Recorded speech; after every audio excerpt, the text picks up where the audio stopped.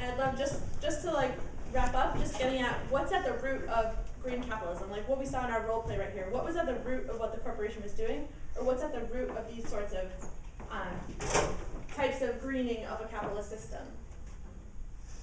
So it can like think of it as congruent with what we did here. Like what kind of values are what are what's driving this, these activities, these economies Renewable energy. of green capitalism. Mm-hmm. What's driving green capitalism? What do you Profit. yeah, Profit. yeah, why do you think why do you think capitalism is interested in renewable energy? Profit, Like, what's- Yeah. De- Deception and externalization of real costs. Yeah, definitely externalization. Is, yeah, biggie. I mean, at the worst case, but See, it's, it's nowhere near as bad as it was thirty or forty years ago For who? for anybody. Well, I would argue that there's lots of groups that have it just as bad as 30 years ago, if not worse. It shifts, but it changes. But ultimately, like, indigenous groups displaced right now, like, through giant land grabs for things like growing biodiesel. Like, that's a solution that's on the table right now, displacing thousands of groups of these people. So it's like, yes, it, it'll change and it'll be different, different groups of people. And maybe the big conservation groups one day will be pro indigenous groups and tomorrow they won't be. Depends on what can advance their bottom line. Zolly? I guess like the one thing that went unstated or unquestioned is whether or not we should be drinking soy milk, and probably the answer is no. You know, but but also, so then how do you how do you reconcile like that conflict there between you know the indigenous land and the um and, and the availability of biodiesel, which is arguably much better than petroleum. So the question, if we want any way out of that conflict, is to say that, well, we shouldn't be using combustion engines. Or maybe I kind of think that what you're getting at is this idea that there are needs that for soy milk or for combustion things to fill our combustion engines that are fueling green capitalism. Like perceived needs. I'm sorry, Sheena and Let's read them back to then yeah. They have power to specific group, a small group of people So a small group of people holding the power. holding the yeah. power. Mm-hmm. progress and like sustaining progress. What do you mean when you say progress? So like if I have a some soy milk company, um, I will grow bigger and I'll be able to, I mean, it, it goes along with profits, I guess. So growth, yeah, growth is Growth. there. Unending growth. Infinite, Infinite growth. growth. Yep. Um, And overconsumption by all. So Darragon? Ooh, or, uh, uh, perceived, uh, no, desire for autonomy that's being, uh, tra- channeled into socially acceptable methods. Uh, I wanna make the ethical decision, let me pick which project is more ethical, product is more ethical, rather than, Like That- a fad kind of uh, no, not that, uh, desire for autonomy being channeled into socially acceptable means. Desire for autonomy is what's fueling it, social movement is everything else. so you're saying that desire for autonomy to a certain extent gets people to say, I want to make the right decision, I'll get a different product, mm, and that means all perpetuates the So system. consumer activism? Yeah. consumer. Joe?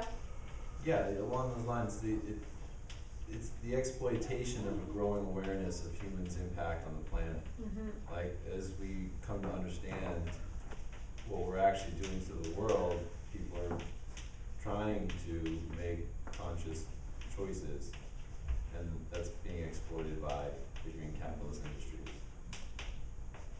It's keeping the, the system that we have. Keeping the system. Yeah, so it's sort of like giving it a, So the status quo or Yeah, exactly, inertia the status is fueling green capitalism?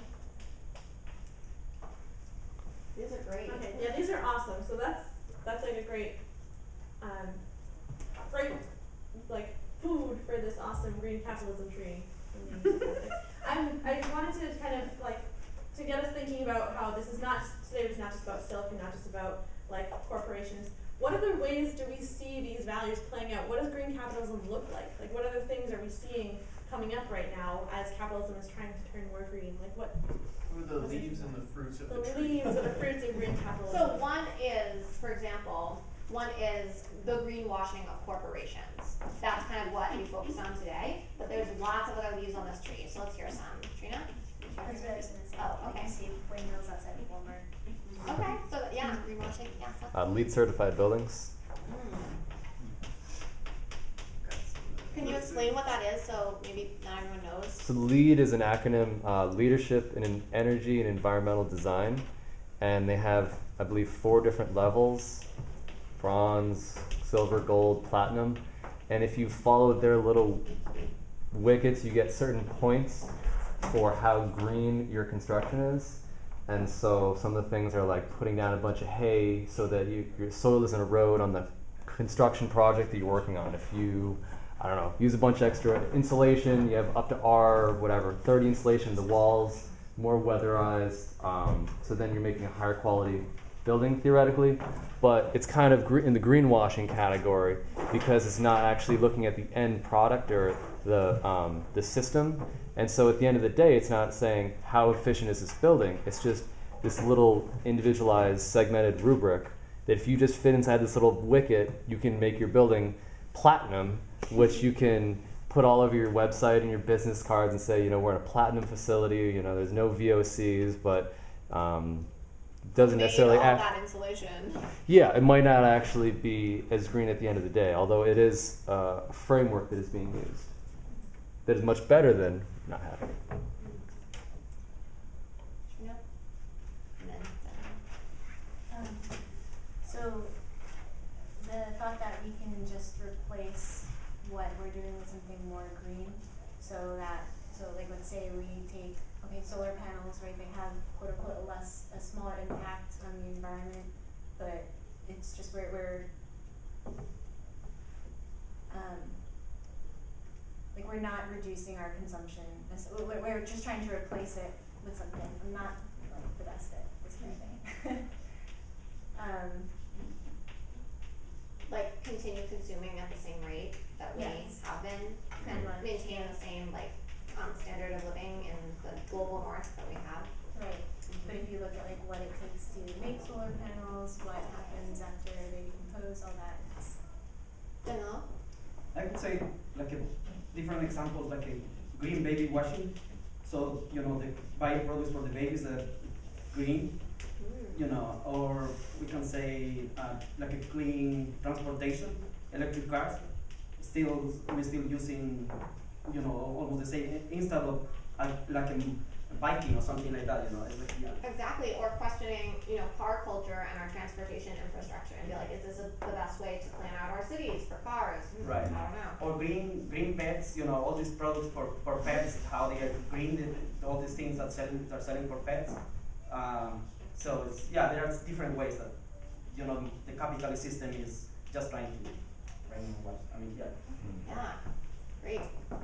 What else can people think of?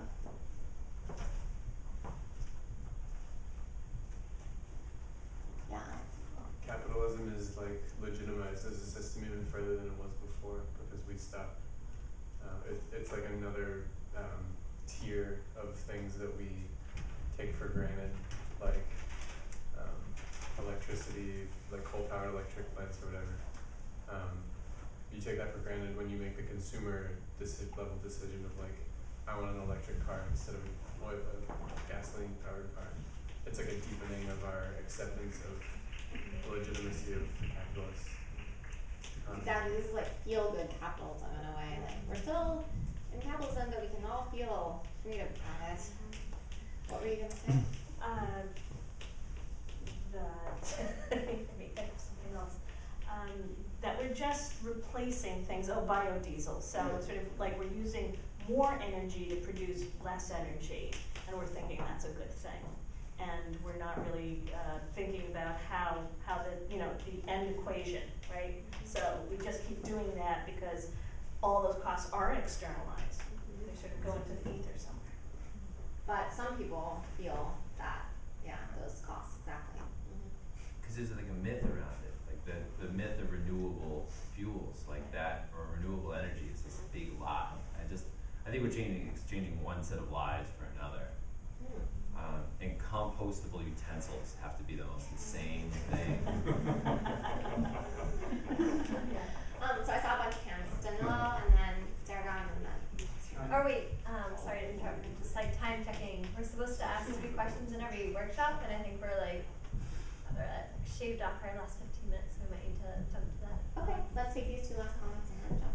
Um, just I was thinking about um, um, like um, the capital system takes all the exploitation of women all over the planet because there are mm, uh, women are not paid the same rate uh, you know that uh, as male we are and that happens all over the planet. M- women are totally being explo- exploited um, and indigenous groups.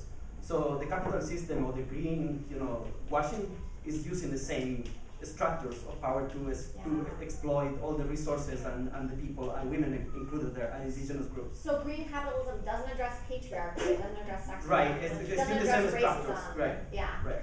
Doesn't address classism. Aragon, and that will be our last comment. I guess my thing is like, what at present is the, oh, I guess, you know, the myth of agency for all, uh, taking the, the, the, changing, you know, the, the responsibility of, you know, our society to create a greener world and shifting it onto the burden of each individual. One of the issues, you know, not push on you said people need to consume less. The question is who, which people, and I wrote down there are people in Bangladesh and even some in the US who cannot consume enough. And there are people uh, who could, who are consuming more than they technically would need to ultimately. However, they cannot survive in the current conditions without consuming that amount. Uh, but maybe they can survive with much less. You know, say someone who needs a car to get to work, but could, could take public transportation if there was public transportation for them. So it sounds like we're talking about unequal distribution Yeah. of resources. Not just resources, a false Yeah. idea of choice. You've got all these uh, rather irritating rich people, or mostly actually rather irritating upper middle class people who say, you need to be as green as us, look at our Whole Foods shopping. Everyone's probably encountered that sort. And it's like, well, there are some of the people sitting who, who can't afford what, what is so-called green stuff. And it gives environmental activism, it gives it straight to the rich. You get what I'm trying to say? The illusion of agency for everyone. Dependency on inefficient and exploitive systems. Yes. The myth of progress. Yeah. So, wow, this is So- a great. Right, so we're at the last five minutes of our workshop pretty much. Um, obviously, this tree needs to grow. Leaves. I was thinking, since- as we're wrapping up, maybe in this question, when we're talking about, um, you know, we have a couple of sections talking about uh, what type of green solidarity we address. I'd love to hear people in the end, like incorporating ideas that they've seen for how our values are playing out in the green solidarity economy. That And we're goes- building, Yeah. So, um, yeah, I guess I'd like to open it up to just kind of like debrief this workshop. Like, what areas of the green solidarity economy did we address today in the workshop, and how does it relate to what we heard earlier in the plenary? Are we re- are we doing the fruit of this tree now? I don't think we have time to do We're not that. doing it Alright, specifically, but if people want to I'll tie write it in down what's for the fruiting notes. over here, definitely. So read the question again, what was it? So the question is, what areas of the green solidarity economy did we address in this session? What are the ideas, and how does it tie into the plenary? Do we have to answer that question? Can we do the tree? I think we're trying to do both Oh, together. okay, got it, So okay. how about stakeholder involvement, you know, so everybody has a seat at the table? So, equal access. Um, Well, we broke down the word green a little bit. You know, Yeah. challenge that. So critical, or like a critique of green, I guess. Deconstruction of it. Yeah, yeah, James? Shows the need for solidarity, Mm. different concern groups. Hmm. So how can we put that on our tree? I think, well, I think the solidarity is down here, maybe what it looks like. I don't know what it looks like. It looks like a, like a Dean's Beans in Amherst that actually goes to the place where they're getting their coffee beans and making the relationships. And so, right, CEO from over here going down to the indigenous group, you know, walking through the factory, right, seeing exactly how the whole line of the process goes. And so, you know, Dean's Beans set a model where people all over the country are learning you know, how to you know roast beans and have a at least a, a move forward towards a sustainable coffee system um, by that that transparency and the relationships between the different um, interested not not just interested parties but the parties involved. So obviously, indigenous people are very And trust between those parties? yeah. Having a cradle to cradle system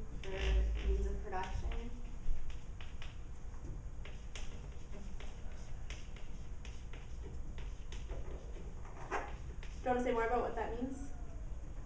Um, yeah, so like you address every element of s- production, so like it's not cradle to grave, it's a sustaining system that continues fueling the, its own production, I guess. So like something's made, it's used, and then it goes back into the cycle rather than made, used, landfill, or lugs via incinerator. Do you guys think that fair trade would help with it? Or is that, is that a, is that a flawed system that we didn't really I think it's discuss? another one of those things that makes people feel good about buying and it perpetuates the dependence of the capitalist system. It's just another, you know, it's another buzzword.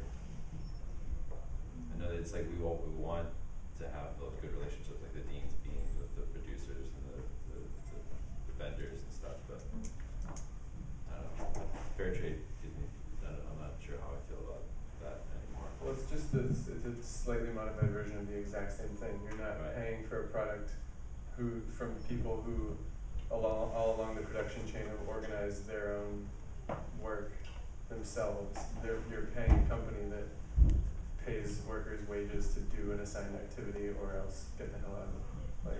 Like, Okay, right, no, I agree with that. I wasn't sure exactly like how fair trade is regulated or, or uh, how it actually works, but yeah, There's so like the Dean's Beans model, uh, of like working with the people who grow the, that, anyway, That's very great. that's what I thought. A decision's based on everyone's well-being and sort of stewardship of everything. That's not too much to ask for, is it? We have like horizontal integration out there. Can you explain what you mean when you say horizontal integration? I guess the entire, the, the entire production process is linked, so you're doing it yourself, um, instead of kind of outsourcing the relationship or the practice or the process to somebody else.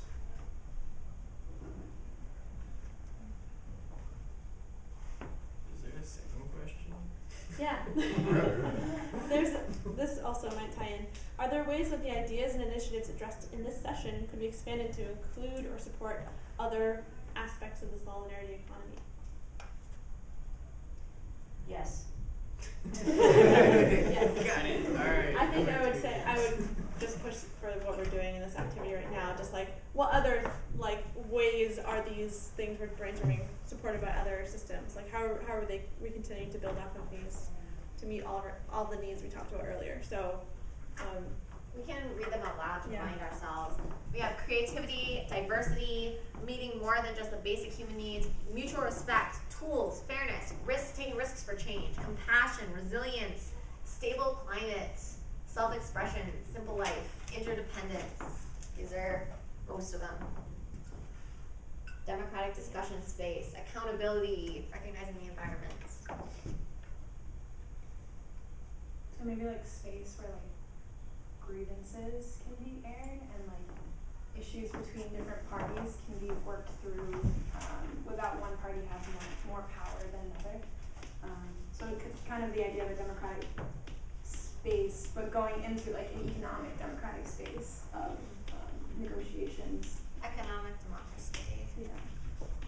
Egalitarian accountability. Would that mean recallability? Or What's like that? Recallability for either your representatives or Boston? Like, not just they need to become available so that you can talk to them, but like their own recallability based on your needs. And is that at all? I don't know. I. I think that's like.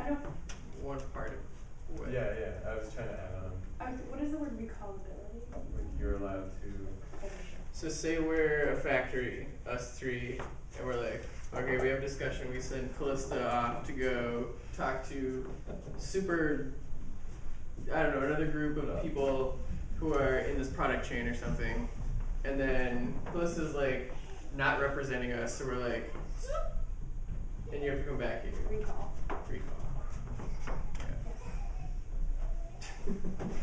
That explain what you're doing again? Yeah, I, yeah, partly. Partly. But like, It's um, more than that.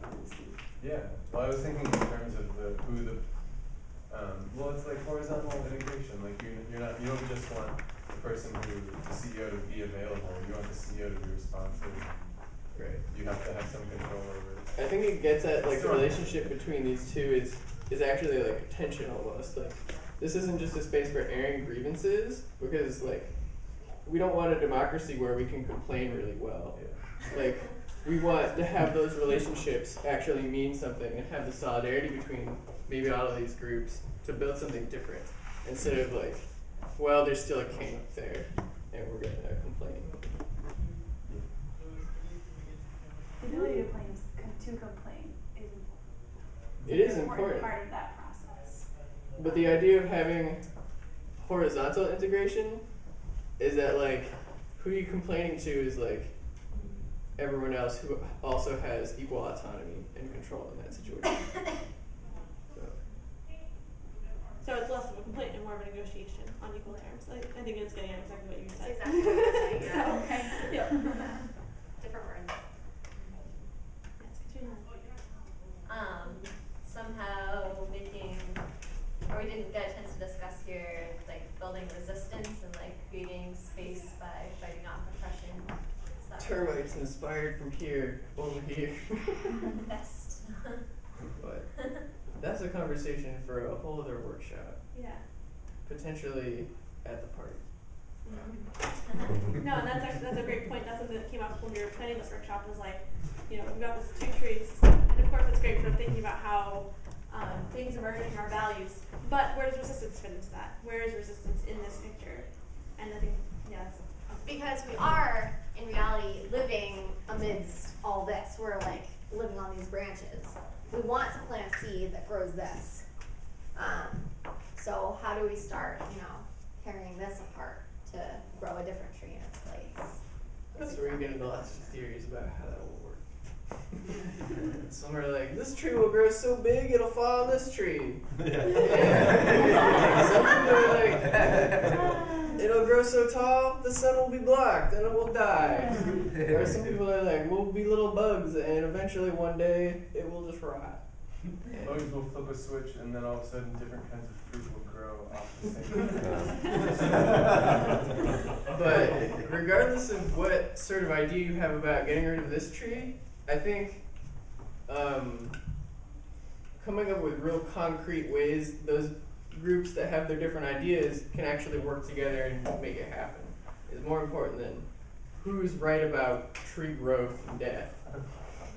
So And I think this is getting at a lot of the themes earlier in the plenary of like, you know, we need to be pursuing a way where there are many ways. We need to be, you know, by all means possible, changing the way that our economy works. It's not going to be turning off one and turning on another. It's not. We're not all going to put our energy in the same place. And there's probably going to be coexistence, and there already is, of both these types of economies and of all many different types of economies. So. Um, There are many of these saplings already around, but you may have seen them. this tree is still pretty strong. Yeah. So let's, Really okay. strong. I'm gonna take, if anyone has burning last thoughts, we can take them. Otherwise, I think we should probably wrap up because our time is, is running out. One interesting thing with the plenary is um, one speaker said that even as we like build a new system, we should still like you know help out Walmart workers getting good wages and stuff. But this almost showed like the flip side, which was that better within green capitalism might actually be worse, like still having lots of bad effects everywhere. So it's conflict all over again. So that's the idea. If we if we just give up and let this tree grow really big, one day it'll be okay. And like it'll collapse and we'll be over there somehow. That's probably I don't know. We'll we'll see. Anyone have final last closing comments? Let's chop down the tree. All right, well, thanks everyone. Thank